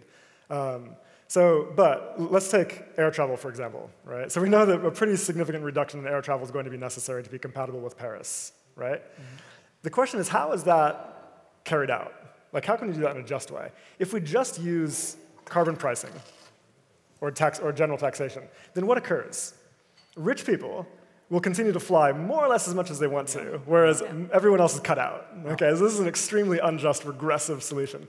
And so something like uh, ensuring that um, that flights are available uh, to those who need it, or let's say uh, one flight every, say, two years or something like that. I mean, clearly there are good reasons to fly uh, sometimes. Um, and then additional flights on top of that uh, are taxed at an increasingly progressive rate, and so it becomes impossible for even the rich to make frequent flights, right? And business class and first class are basically abolished. um, so, so something like that would be a more just solution. But I think that really this has to be deliberated on kind of a sectoral level. And, mm -hmm, and so, yeah, it's interesting yeah. to think about. Yeah. yeah. And if, i if I may just, um, so we talked about the role of the state, and of course, you know, capitalism needs a state. So the state is capitalist in, in, in, in accommodating capital uh, uh, circulation and growth. Um, but how would you, like, what is the role of the state then in the future? Do we need to uh, dismantle the state as well, as well as dismantling capital, capitalism? Because you might as well end up with a very modernist Western idea of uh, political institutions like the nation state or the state as a form of political power. So, would you um, say we still need to operate within the, con the con contours of a, of a state system? Or would that be a short term solution only to gain power and to uh, kind of shape the transition? Mm. Uh, I feel like my anarchist credentials are. yeah, two minutes, three minutes now. um, yeah, uh, I'm not going to have time to give what my full answer would be to this, since it would be quite complex. But, but let me just briefly say, yeah, I think that um, uh, states can be different kinds of animals. And our existing state, as you pointed out, is a, is a kind of animal that, that, uh, that services the interests of capital accumulation overwhelmingly. Now, we've found ways to tame it a little bit, so we get a little bit of public service here and there, et cetera. But, mm -hmm. um, but it's a more or less minor feature of the way we consider the production, the production system. Um, and I think that that can be pretty significantly changed. Uh, we can have, we can have a, a, state that is more focused on social and ecological objectives and is more democratic and can serve uh, can serve our purposes uh, rather than those of, uh, of a, a, relatively small segment of our, um, of our economy. Mm -hmm. Yeah. So. Thanks. Yeah, I think you solved it, so. Yeah, yeah two questions. Thank you. Um, can we go up? Is that possible? Also, no, no way going back anymore. Okay, it's a very rigid mentimeter. Um, okay, uh, I think there's one question on behaviorism. Let me see. Doing ethical. Almost. Ooh. Yes. Yeah, I'm not sure if it can all go up. Okay, Technology. so understand the foundations of our behavior, look, looking at historical, uh, historic development and philosophy. That's, That's a statement. That's a statement. I think that's a statement. I think that's Chat GPT. GPT. I actually, I actually So- like, I like the one in the bottom left better, which is The just, left one. Which is just a Question question mark. mark. it's just like, Totally question mark. what are you talking about? don't understand I'm anything. flabbergasted. what is Um, happening? So maybe the question on ethical, doing the ethical thing, is dependent on your perceived system boundaries. How can this influence politics in a just way? We need a cultural shift first.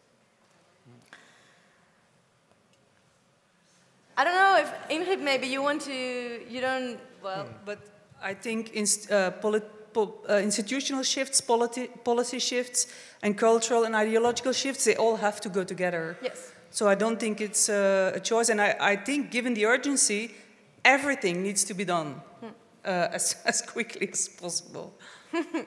okay, so the urgency is clear for you. Yeah. Um, all right, Hans. Uh, I Yes. think we can. Can you hear me, Uh, if you hold it like this, yeah. Yeah? Yeah, yeah, yeah. Okay, so you heard everything I said. Yes. Oh. um, now I have a question on the job guarantee. Um, because uh, it's a proposal I'm, uh, I'm a big fan of, so I, um, uh, I really support that.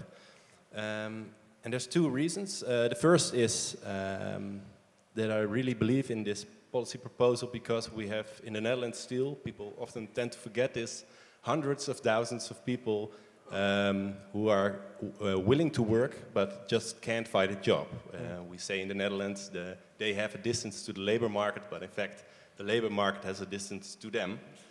Um, so I really think this could be a problem solver in that aspect. Um, I also want to talk about this proposal because it isn't often discussed in the Netherlands, job guarantee. And one of the reasons is that we have a very tight labor market. Uh, so there are, are shortages everywhere. So it uh, feels illogical for a lot of people to now implement a job guarantee. Um, so I just wanted to ask you about the specifics of the job guarantee. Like um, how universal should it be? Can everyone just quit their job and apply for a job guarantee?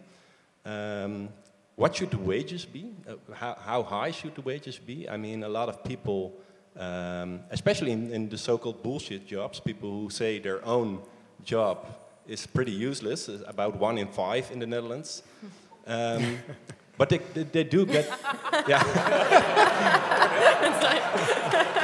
Just rambling on the stage. Uh, Um, but those often are really well-paid jobs, like financial management, communications uh, officer, uh, those kind of jobs. Like, how are gonna, how are we going to make it? Some communication some, officers some people, oh shit. how are we going to make the uh, the job guarantee, those really useful jobs, attractive attractive enough for the people with the bullshit jobs? And um, so th those are my two questions, I think. Yeah. Let's keep yeah. it at that. Yeah, I, I, mean, I love talking about the job guarantee. I think it's such an exciting proposal. um, because, uh, because, look, it can be quite powerful at doing several things at once. Um, uh, so, for one, um, it can be used to set labor standards in the whole economy, right? Which, is, which can be very difficult to do uh, um, just through regular leg uh, legislation.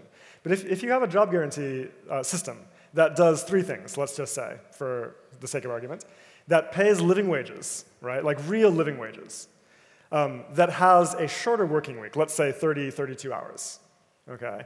And that um, has a democratized workplace, okay? So think about these three things. Immediately, you can see that people will be attracted to that. They would rather do socially necessary use value labor um, for a dignified living wage under democratic conditions where they can feel ownership over production, right? Than they would uh, doing bullshit jobs or, uh, or like um, working for whatever, uh, McDonald's or Zara, uh, to mostly service corporate profits, right? And so there would be quite, I think, high demand for this, and would I think it would shift our productive capacities towards uh, more socially necessary use value forms of production. Um, and you can see very quickly that the rest of the economy would be forced to follow suit pretty fast.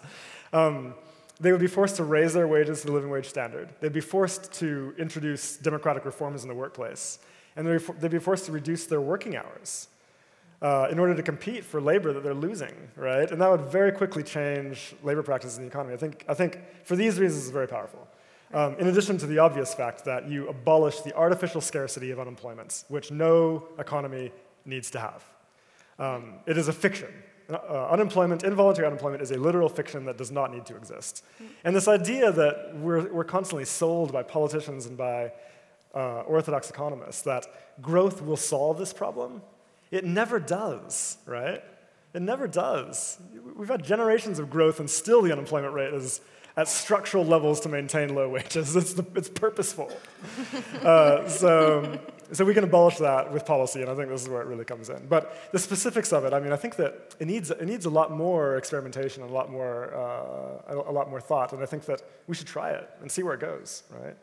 Uh, and I think it, will look different in different contexts, precisely because it is democratic. Uh, so we see. Thanks. I agree. That's great. Um, do we, can we open up, or is that, there's no questions now? Okay, we, we, we, we stopped the whole Menti oh. thing. we have to go. I do have, I, think I, have, I have one follow-up question, and I guess the, the whole section is flooded with this question. How, how about basic income? well, that's interesting. because you really, you really put a big emphasis on work, why is work so important? Why is not people uh, giving people an income and let them take care of themselves when it comes to work? Yeah, the good solution. Yeah, I, um, I'm not against basic income actually, uh, and I think that the two should be implemented together in some way, right? Now, the one problem that basic income has is that because it like it seems to emerge from, the, from, uh, from a culture that is mo mostly understands itself as consumers um, and does not think much about the production system. And so therefore, uh, it's like, let's have money in so we can, we can, uh, we can consume, no? But, which is fine, and we'll, we'll, I'll talk about that in a second. But, but we also need to think about production. What is happening with production, what we're producing, why, and who benefits, and so on. I think that the job guarantee actually focuses the mind on this. Like, how do we want to use our collective capacities? Um, what kinds of things do we want to produce in the first place? Um, or not?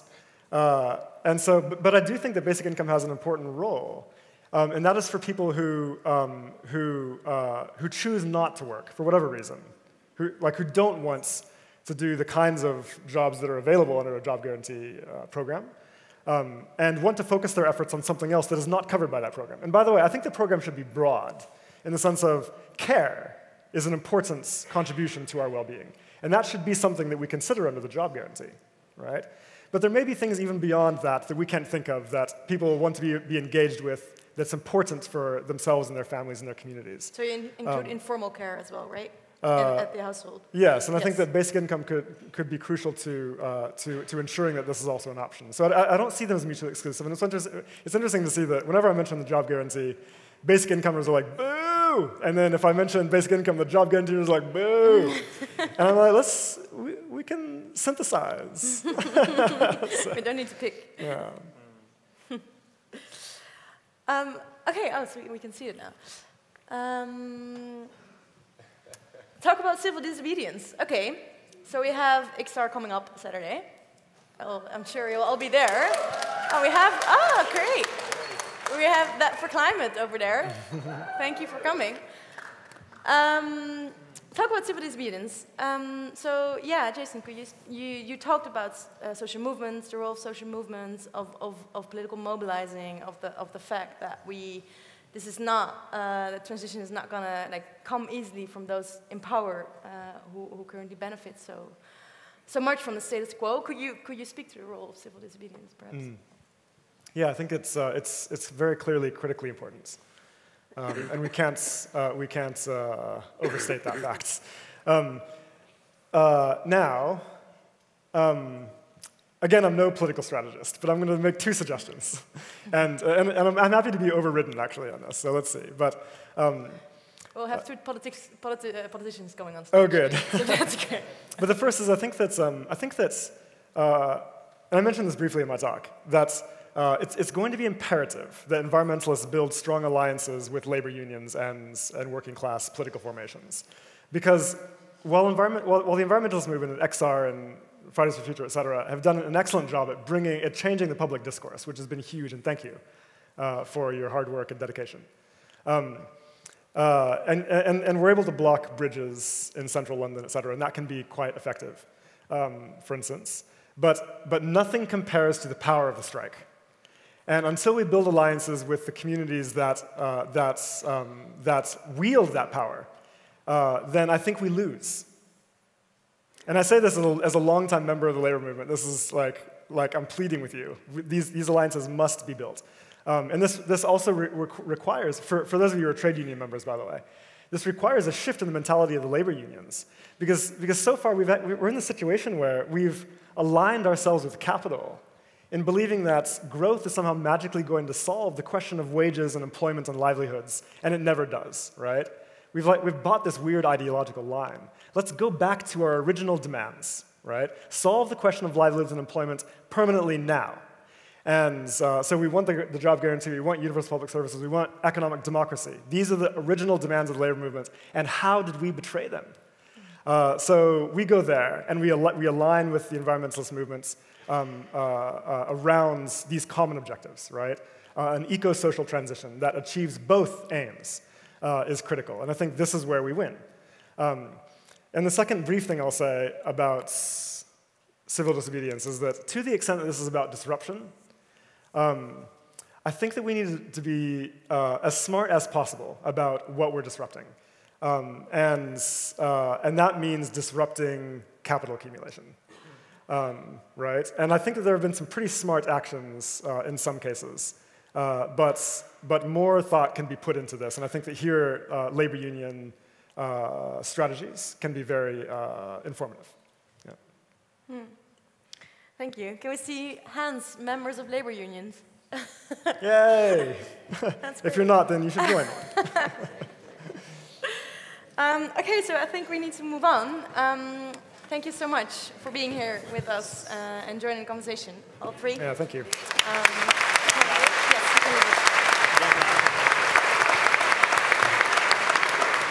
Thanks, guys. Thank you. Yeah, thanks. Um, so for the final part for tonight, um, we have uh, two, um, two politicians coming up. First, we have uh, Suzanne Kröger. Suzanne is a member of the House of Representatives for the Greens, for GroenLinks. She previous, previously worked for Greenpeace, where she contributed to campaigns on global trade, combating deforestation Hello. and climate change, and fun fact, she also was the one um, inviting Jason to Parliament today. Thank you so much. So, so uh, we're very happy to have you here. Then we have Rutger Groot-Wassink. Rutger Groot-Wassink is Deputy Mayor of Amsterdam. He's also alderman, and in this position he holds the portfolios Social Affairs, Diversity and Democratization. Before that, he acted as the group chairman of GroenLinks in the Amsterdam City Council. Thanks for being here as well with.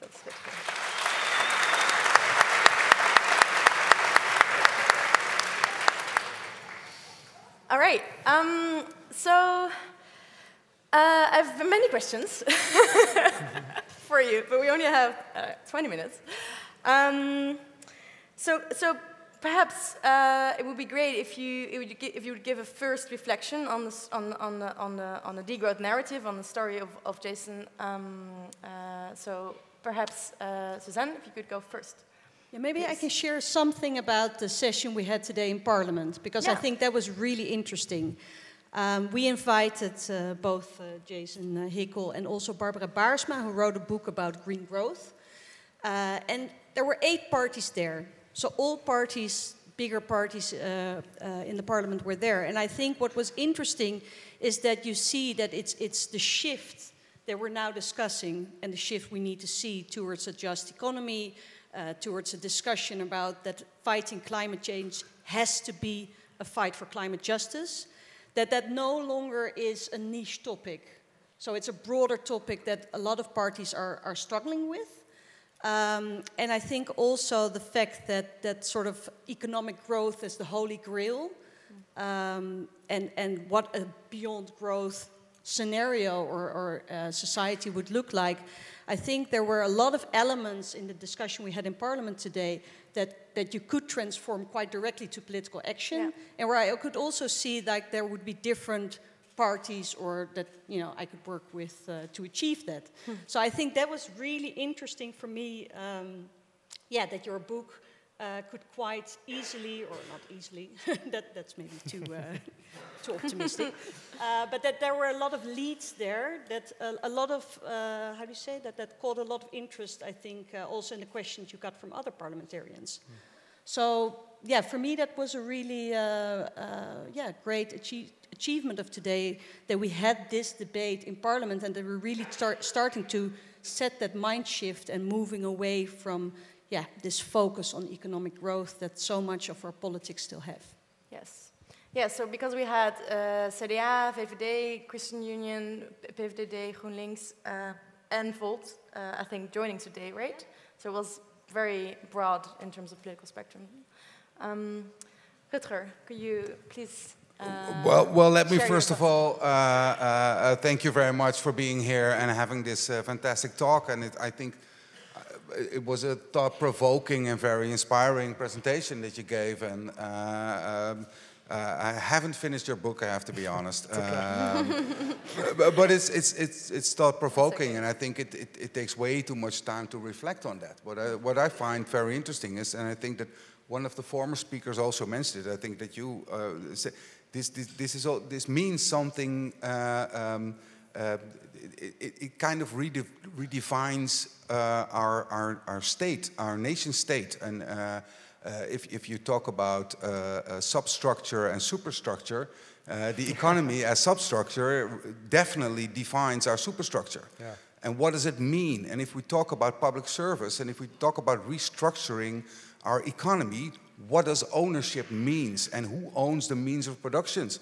And this is all kinds of, of, of, of next level steps that, that, that, that I think that we can fill a, a, series of evenings with, but I found it very interesting. But uh, of course, as a local politician, um, um, I also find it very inspiring. And I think that what, what, what, what your talk and, and today's subject does is, in, in, in a way, it, it, it, it reframes the narrative. Hmm. Uh, and I think that it, from my perspective as, as being, uh, being active in, in, in, uh, in, in, in Amsterdam, what, what we try to do is to build local practices and to build uh, local um, um, um, um experiments. yeah, maybe experiments, but it's more than that. I think that in a sense we are also trying to change the narrative by, for example, using the donut economy. But in, in a sense, is what we try to do is to hammer wedges in the dam. Yeah. Um, and, and I think that your book is a huge wedge uh, in the political discussion. So thank you for that. Okay. So on the topic of you, you speak about um, so you, you, spoke about um, collective ownership over the means of production, the idea of economic democracy. Um, it relates a lot to this idea of of of, of, um, um, of co-ops, right? Of cooperatives and uh, and and uh, promoting the cooperative movement in Amsterdam, which is very much also part of the of the donut idea, the commons, right? That Amsterdam embraced. Um, so do you feel that this is also something that Amsterdam uh, is, it, it, could take a leading role in, uh, in really promoting and expanding that, that space in the economy, the, the, the, the collective uh, community economy, you could call it, right?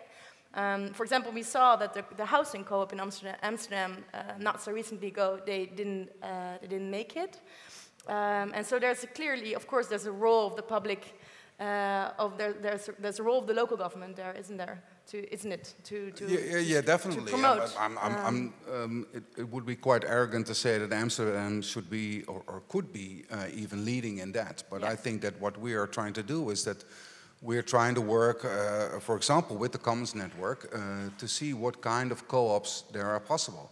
And in a sense, uh, we are very inspired by, for example, community wealth building and the Cleveland model. Yeah. Uh, and we are now investigating worker co-ops, uh, which can be very interesting. Yeah.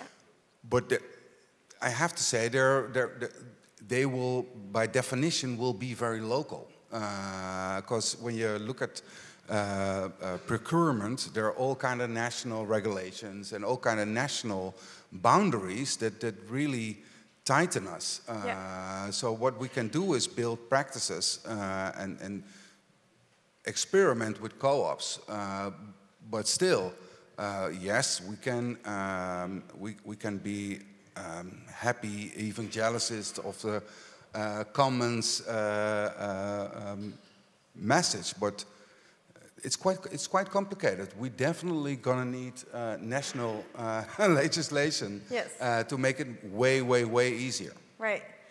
Yeah, right. and that's also something.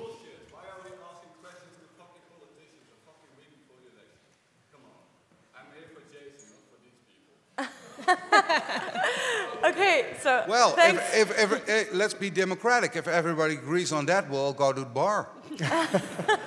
well, I have some. I um, I'm not here to promote. Pro I think we're not not all of not, none of us here to only promote uh, the Greens. I guess to have a critical discussion about green politics. So.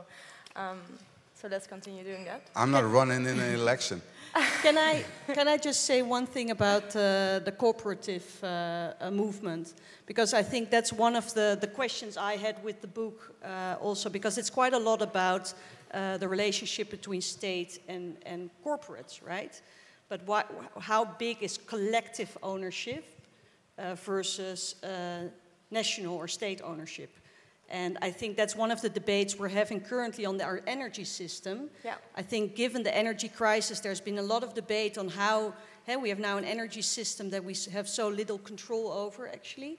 Um, so one of the things we've been really pushing in Parliament is much more the uh, cooperative energy uh, cooperatives uh, and the opportunities for people to to produce their own energy, either on a, on a on a local level or share energy.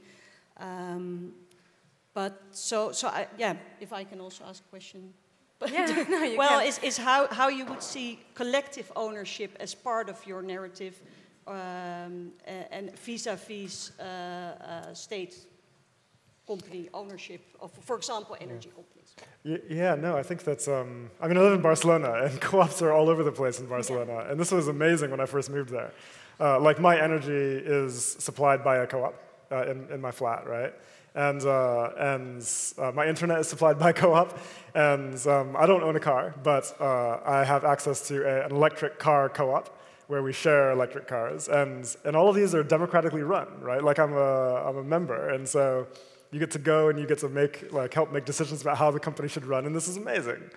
Um, and I think as a result, it's, I mean, it's extremely popular in Barcelona, and people want to be part of these. They want to be provisioned by these. And I think that certainly in the absence of, um, of effective public utilities, like in Barcelona, a lot of, there are not good public options for, uh, for things like internet, for example. Which, I mean, can we agree? This should clearly be a public utility available to all for free. Um, it's sort of obvious to me, but in the absence of that, I think that, uh, that, um, that the, the, the co-ops are incredible and, uh, and, and really demonstrate quite a lot about what, uh, what uh, democratic cooperative ownership can achieve. Uh, I mean, right? It's, uh, it's quite impressive. There's, there's almost nothing that they can't do that existing private firms can, and that's um, and, uh, I, I, mean, I mean, when it comes to this, to key provisioning like this, right? And that's, uh, and that's quite, yeah. that's quite but, but, but, I think that, that human uh, needs provisioning. No, I, I, have some, uh, I have quite some context in, in, in Barcelona, and I know that, uh, that, that Catalonia has way more uh, possibilities to do that than the Dutch nation state gives a mm. municipality mm. as Amsterdam, for example. Because yeah, I know that uh, enough, in Barcelona there had been a huge fight over the, the control of water uh, uh, yeah. a couple of years ago. And in the Netherlands, this is very state dominated, uh, which makes it quite impossible for us. But I, am I'm, mm. I'm very happy with a lot of examples from Barcelona, and they're a huge inspiration for us. Yeah, but, but I should also add, right, like, like clearly, um, clearly some utilities must be run by the state because they're monopolies. Okay, so like the water system uh, the uh, the electricity system, the electricity system. I mean, these these are these are, uh, um, are, are natural monopolies, and they should be publicly owned and controlled. Right. Uh, and I think that's quite. Yeah, they're not. They're not in the No, Netherlands. exactly. So th- Which that is was, wild.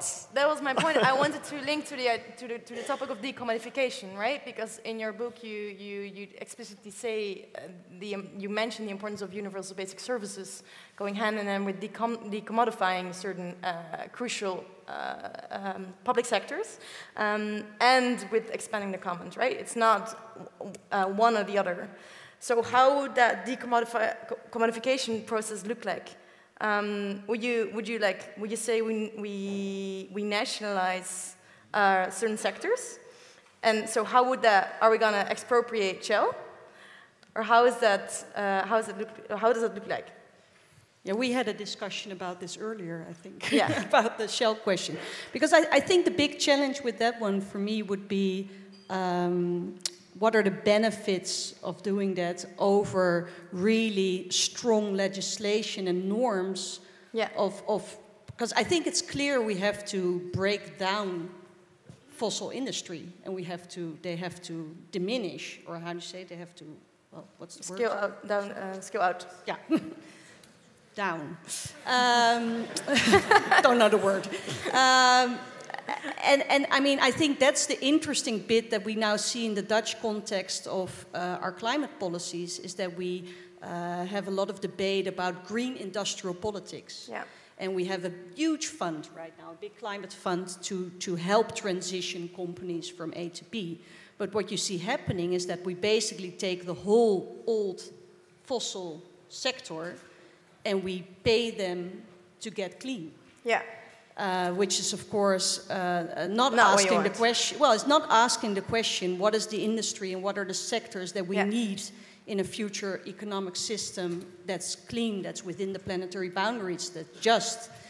Um, but I don't know if, if, if well, I, I think that nationalizing uh, certain fossil companies uh, takes a lot of public money, uh, and, and you could uh, better solve it by, well, by setting norms and standards and, and basically, uh, um, yeah, And so- breaking down that fossil system. But we don't need, we don't need to compensate them, right? Not always. Do we need to compensate Shell? Well, well, I think well that's I think from the audience there's also I mean th- I think one of the key things that we should be doing is really getting rid of fossil subsidies because at the moment we have well we have we have a system uh, we have an economic system that's still driven by fossil subsidies on the one hand, and then we use our sustainability subsidies to pay the same companies that will still get fossil subsidies to Yeah. move towards green. Of course. Which is, yeah, a really weird way. So the question will be, is that enough, right? If we get rid of, of fossil subsidies only. Um, Jason, would you like to would you like to comment? Yeah. Uh, Um, although I, everyone's got a good opinion about this, so I don't know.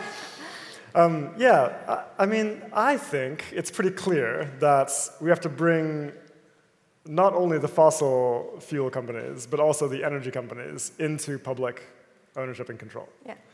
Um, and the reason is because we need to be able to uh, cap and scale down fossil fuel production uh, and use um, on a scientifically informed timeline. And do that in a just way that ensures people have access to the energy resources they need, right?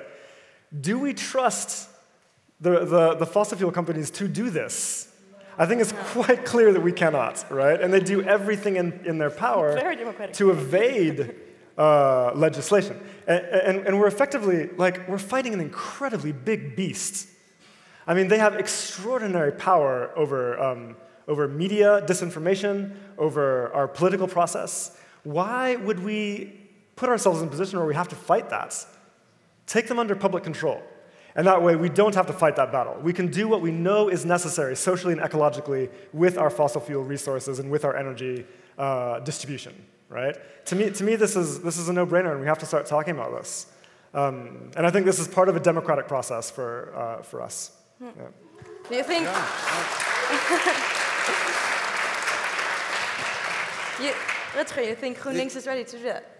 No, but, no, I strongly agree. Uh, and also from a more practical point of view, uh, I'm an alderman of social affairs, and if I want to make a, uh, uh, this, this job guarantee, uh, uh, I've tried to work on job guarantees, but Uh, as long as I have to work with uh, commercial employers, I'm not going to get a, a, a, job guarantee like, like you were talking about.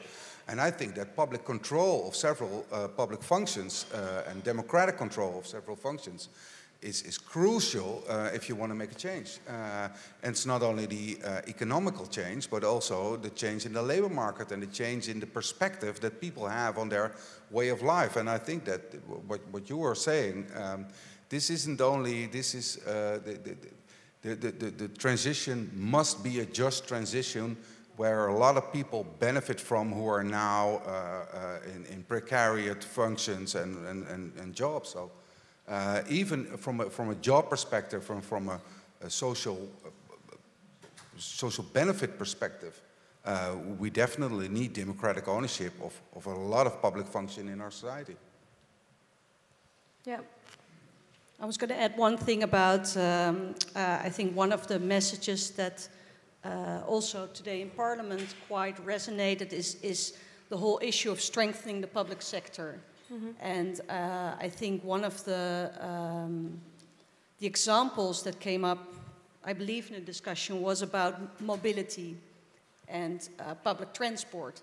Mm -hmm. And I think a lot of our policy currently are, is so much focused on basically saying, okay, we, we continue the system as we have, uh, and we're just going to move everybody to an electric car. And meanwhile, everything stays the same. And this whole idea of actually moving towards much better you know, public uh, transport, uh, uh, sharing cars, uh, being that in a cooperative way. These is, that's the system change that would actually get you to uh, yeah, an economic system within your, uh, within your boundaries. And I think the whole idea of really, as one of the, how do you say, the pillars of a, of a just transition, strengthening your public uh, sector while even and setting the, the what do you call that the um, the ecological, the, the normation, the norms for your, the companies that you do have yeah. is, is a critical part of, and I do think that that was a part that also, um, there was quite a lot of interest in. Didn't you feel? Mm. Yeah. I'm morning. testing here the political uh, momentum. so, so in general, you would say that the Greens or GroenLinks would be ready to, to take the degrowth, perhaps not the label, but the content of the degrowth agenda forward as like a, uh, as a program, as a political vision uh, for the future. Well, I would say that, that the idea that you, you create an economy that's not based on a push, a focus on growth, and that your focus is, like you said, creating welfare within the planetary boundaries, that that's a mission, uh, and that that has a lot of, I mean, it has so many practical steps that we can take. Yeah. And I think that's the really interesting part also in the previous session, but also what you were saying, Rutger, about all the ways in which you can actually, well, I, I use the word experiment, but uh, the ways you can actually make it practical in yeah. your in your uh, tangible already yeah. now today in the current system. Well, and maybe to add something, I think that that in in a sense. Uh, um, uh, the things that Jason has been saying, uh, they, they, they, they, they resonate some of the basics of, of, of GroenLinks ideology. Yeah? That, that economic growth isn't the crucial thing, but I think that it, it, when it's combined with decolonization uh, and the international solidarity that has always been uh, key uh, in, in our thinking and gives it a way more practical uh, uh, focus, I think that's, that's, that's definitely an agenda that we should be working on. Hmm. Um, so I, I, think that, that, that, that, that um, I'm very looking forward to the book Hans is making, and I hope that, uh, that the thinking of, of, of, of Jason will be a, a, a, central part of that. I'm sure it will. Um, so uh, I think we need to wrap up. I already see some people moving, and um, we start a bit later, um, so we'll end up uh, a bit later now. But I think um, we're past 10 o'clock. Um, so, Jason, thank you so much. You. Um, I perhaps I wanted to ask a final question. What you've been here for two and a half days now, almost mm-hmm. three. Um, and you saw quite a bit of the Netherlands, the political context. We talked this morning about the stikstof crisis, the nitrogen crisis. We talked about all these different aspects. Uh, we were in Amsterdam South this morning. I was telling you about the taxes. um, so, Um, what is your hope for the Netherlands? No, we need to go through South to go to The Hague. Bedankt. yeah, yeah. Did someone say revolution? Uh, um, yeah, no, I've really enjoyed my time, and I have to say that this evening has been my favorite part, uh, engaging, engaging with you all, because I really sense, I mean, it's interesting, uh, I really sense an energy, and, um, and, uh, and, and, something is happening, and that's, that's exciting for me, and I, am curious to see where things go. But I hope that we can collaborate uh, in the future and, uh, and, uh, and unite movements and, and, see, and see where this takes us. So thank you for having me.